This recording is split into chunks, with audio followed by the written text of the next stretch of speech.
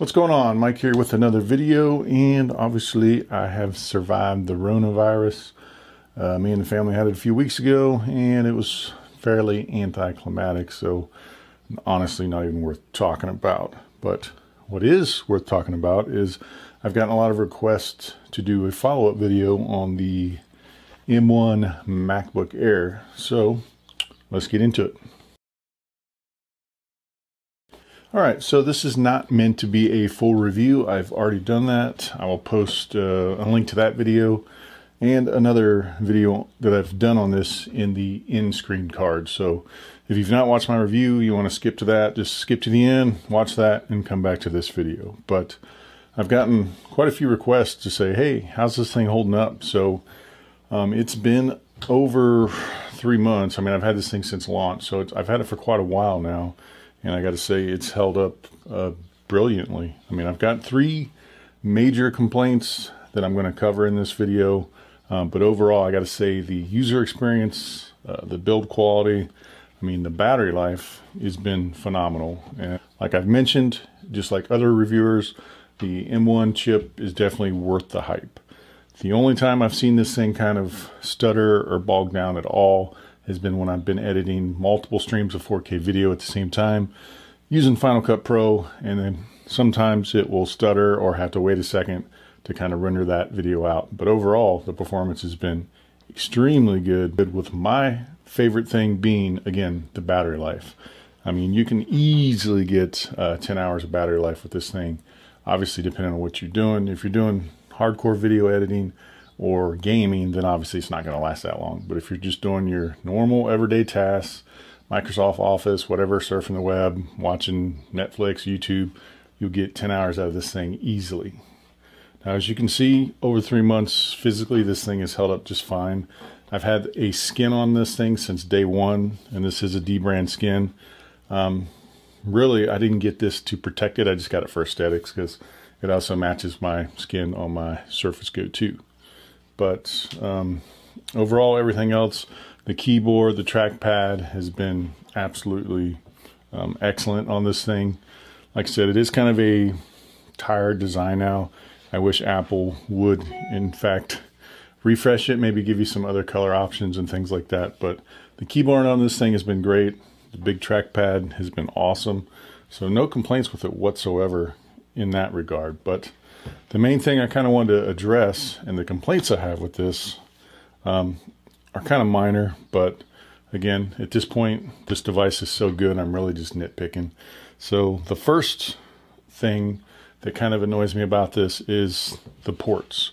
I mean, I'm okay with having just USB Type C. Um, I'm okay with just having two, but it would be nice if they put one on the left side and one on the right side because it's just kind of a pain in the butt um, from a cable management perspective, and maybe you know, depending on where your wall outlet is and all that, it would just be more convenient to have one of these on either side.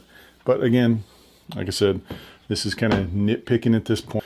The other issue or complaint I have about this device is the webcam. Now, granted, I honestly don't do that much with the webcam on here. If I'm going to do any kind of video, it's usually done on a tablet or a phone, but the webcam on here is atrocious. Now, Apple tried to church it up a little bit, saying, oh, with the software improvements, we're able to make this thing better, but it still sucks. It's still potato cam. And if you do a lot of video conferencing and you want to use your Mac, you may want to consider just using your phone, tablet, or getting an external camera because, again, the webcam on this thing is atrocious, which just kind of blows my mind because this is my Surface Go 2 um, and this has got a 1080p webcam that looks actually pretty fantastic. So whenever I do uh, YouTube Live, I usually use this as the camera. But um, this thing coming out at the mid to end of 2020 has just a crap camera. I don't understand why Apple refuses to upgrade the webcams in their computers. Uh, they did upgrade the microphone, so they pretty yeah. So they have actually really good microphones. Uh, this one included. It's just the cameras suck. I don't know why.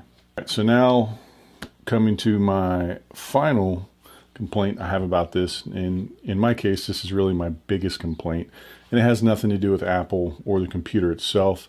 And I'm probably going to get some hate in the comments for this. But the biggest complaint that I have with this is that it's Mac OS.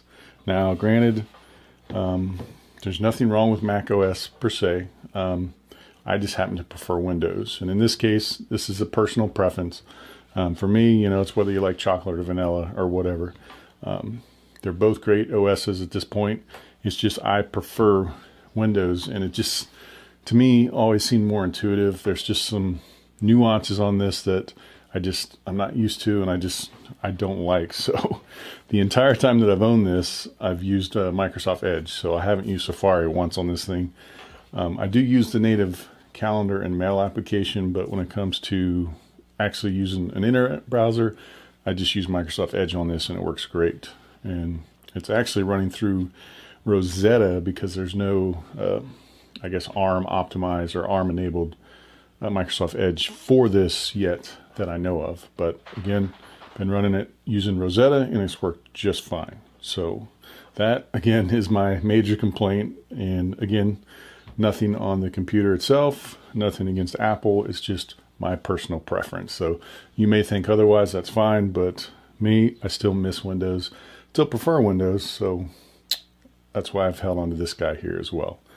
But with that, if you have any additional questions or something else specific you want to know about the M1 MacBook Air or want to test, just shoot it in the comments below. But again, I can still definitely recommend this, especially even in 2021. It's a great computer, great battery life. The performance that you get with such a long battery life and the price of this to me are all a win. So it is definitely a great device. I wish Windows would get their crap together and make a ARM chip that doesn't suck. I mean, I had the um, Surface Pro X, good device, but nowhere near as good as this guy when it comes to battery life and performance. So with that, hopefully you guys enjoyed this video. It was just a quick one, quick update. Um, if you liked it, make sure you give it a thumbs up. And if you've not subscribed, I would appreciate it if you do so. Thanks.